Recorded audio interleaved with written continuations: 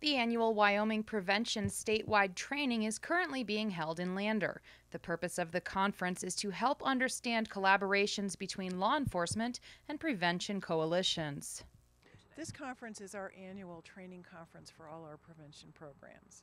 So we have the prevention framework, the mental, uh, substance abuse block grant, and the tobacco programs.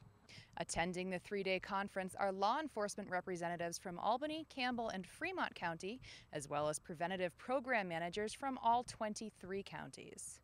Uh, we all know we can't arrest our way out of this problem, that we need, we need prevention people, we need intervention, uh, we need the, the judiciary on our side and, and the lawmakers on our side to try to fix what's wrong. Many new initiatives, such as the Draw the Line campaign and reviews of underage drinking statutes, were begun at last year's training program.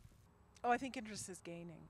You know, people are uh, coming to understand the new data about you know the nature of the problem and we're beginning to see some success in decreasing some of the numbers and uh, so it's very exciting campbell county has enjoyed a positive history of prevention coalitions and local police working together for a greater cause the pattern of abuse and uh, addiction is really what matters. It could be tobacco, it can be alcohol, it can be uh, illegal substances, and a lot of the prevention efforts and a lot of the enforcement efforts kind of mimic each other for each of those. In Lander, I'm Cheryl Lee, 4K2 News.